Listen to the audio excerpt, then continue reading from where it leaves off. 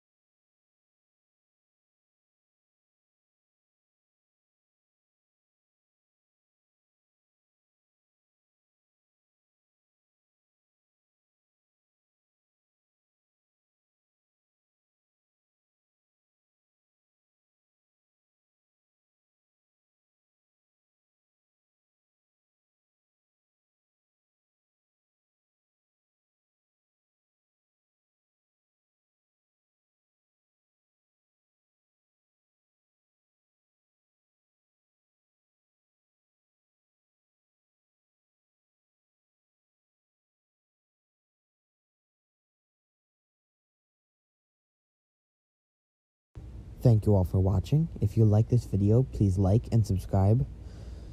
Be sure to leave a comment on what I should build in a future day, and I'll see you tomorrow.